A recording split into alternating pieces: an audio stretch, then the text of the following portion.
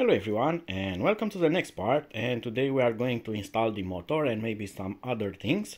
So here's the bike, I have taken the original wheel off, the front wheel.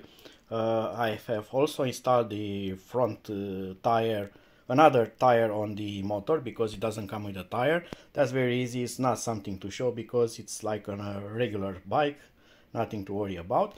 But now I'm going to transfer the disc uh, from the brake to the uh, motor so I have the braking uh, back on the front wheel.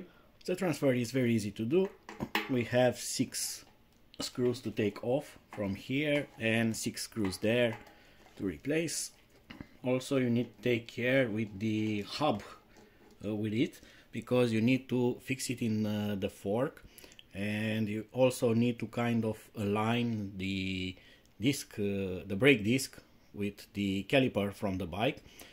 On uh, the kit motor, on the motor kit you also get a spacer so you can use that to adjust it if you need it, need it to uh, to take it uh, a bit out from the hub or put it closer to the hub. It's up to you it's up to your bike. But it's good that they have included that extra spacer there so it will make the transfer easier for you when you are transferring uh, this kind of uh, disc you may have some issues taking it out if the previous bike had Loctite on the screws like this one did. They may get out a bit hard.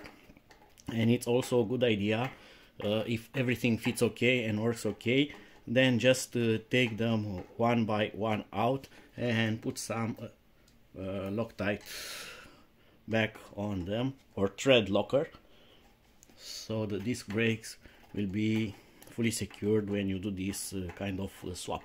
Another small note, uh, it's better not to touch the disc braking surface because you can contaminate that with your fingers uh, and that will make the braking performance rather poor or make uh, or will produce a lot of braking noise. So this is the disc, we are going to take those screws out and fix it there. And now the disc was transferred and I'm going to show you something else. When you install this on the bike you have here a special washer that comes pre-installed. You don't have actually to take off this uh, nut, either the washers because they are in a, a perfect position. You have this notch here, come on autofocus, okay. So that notch uh, goes behind the fork. The fork comes here and this is pointed uh, downwards where the fork is split. You are going to see right away. So this keeps the uh, motor shaft. It's an extra protection from not spinning into the fork. Also I highly recommend you to install the torque arms that are provided just for your own safety. So to install this you just leave the nut uh, out and this one on the other side the same. And now we are going to put the wheel onto the bike. Also keep in mind on the side that the motor wire gets out. Uh, this has a hollow shaft and the wire can go easily upward but not downward. So be sure to point this again upward as the wire will go around your fork and the washers are with the extra notch downward as this will go up and fit the front fork with a bit of luck. Also to make uh, installment a lot more easy, I highly recommend you to take off the caliper, the brake caliper, as we can easily fit this later and that will allow us to insert the wheel with the disc easier. Or if you do not want to take it off entirely, you can leave it that way so it moves easy. So this will enter between the pads when you are inserting the wheel. This uh, step might be a bit difficult, but it gets easier if you actually put the bike down. So the weight of the bike works together with you. So the bike pushes onto that shaft and that's it. It has fitted the front fork. Now we are going to tighten up uh, the nuts just by hand and we are going to pay attention if the disc brake will touch the fork and it doesn't. Also we are going to look at the screws that hold it and they also get millimetric between this part here but they don't rub they don't touch so it's all okay. Also the caliper has fitted the space there but it's going to need some uh, adjustment onto the bracket but it's all okay. And then tighten up the screws secure them uh, secure the caliper and adjust it. And final test it spins freely nothing is touching no weird noise and you can see this spins forever and forever. There is no drag in this kind of motor because this is a as I told you in the previous video this is a geared motor that has a one-way clutch. So it disconnects from the shaft when it's not powered. So it doesn't have any kind of drag that you get on usual electric motors. So when you ride this bike you can ride it with no power and you are not going to feel any kind of resistance which is very good for improving efficiency of your bike. And now that we have a fully installed motor we need to install the throttle. That's very easy. It's just like installing a bell or something like that. Uh, install the controller for the LCD LCD bracket. These are just like on any other kind of bikes. This is the original display and look at that. Uh, both displays have the same kind of buttons. Very interesting. And also this is the original accelerator. So I'm going to have actually two accelerators. This is going to be very interesting as I can actually manually modulate front motor and rear motor. That's going to be uh, really fun.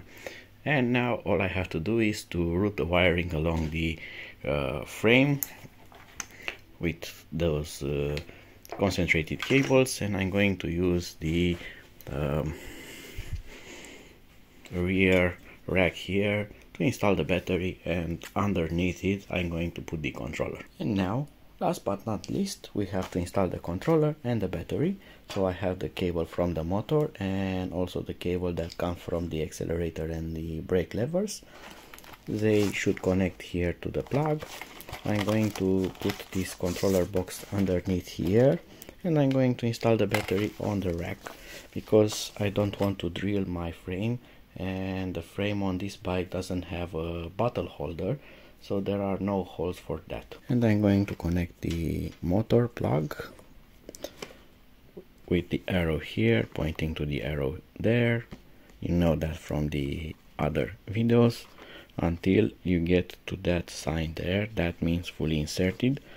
These connectors are special and they are fully waterproof. So they take a bit of wiggling until they fully are inserted into the correct position. And the other one with the LCD and accelerator same thing here arrow to arrow and until that one. So it gets fully waterproof. Now it's okay. Same with the motor. And I'm going to fix this underneath on this part here. I'm going to put it that way.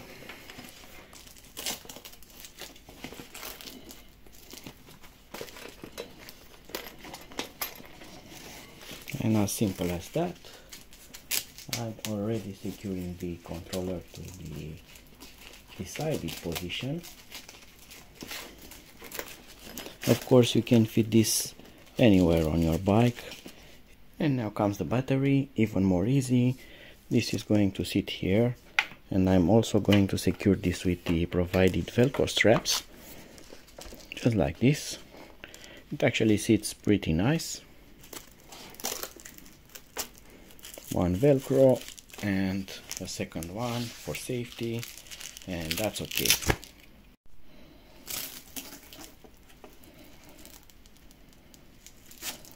In case you are wondering how good is uh, this uh, mounting of the battery well I can lift the bike just by pulling the battery. These are very strong and you can put more of those also you can use that uh, metallic uh, bracket that I have shown you and you can fix that under the uh, rack here and secure it with bolts. But this is more for testing right now so it should suffice.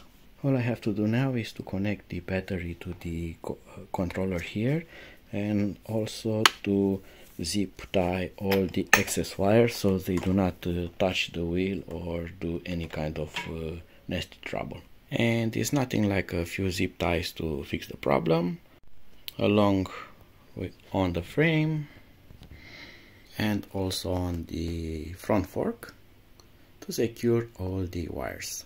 And the new cockpit is ready for action to displays here. You can see how great the uh, kit one is with color display and how good it looks in comparison with the original one. And that was it for this episode. Now I have to fully charge the original battery and the new battery here and see how this uh, bike will perform with the motor. We are going to do a full review of the motor to see how the kit motor performs and then we are going to have some fun with this e-bike so we are going to activate the second motor and see how this goes. Uh, I'm going to do this because I want to really review the performance of that motor. So in this configuration with two motors on uh, an e-bike uh, this motor will have to do a lot of work uh, not because that motor will uh, bring extra drag because it's not going to but it's going to pull a lot of weight so not only me and the bike but it's going to carry another battery which is not its battery and another motor. This weight a lot more so the bike is now a lot more heavy so that motor needs to do a lot more work than it's uh, it expects to do let's say it expects to do. It's not expecting anything because it's just a motor. All right so it's going to be a very interesting test which is going to come very soon and we are going to see then how this uh, contraption will uh, perform. Until then see you and bye bye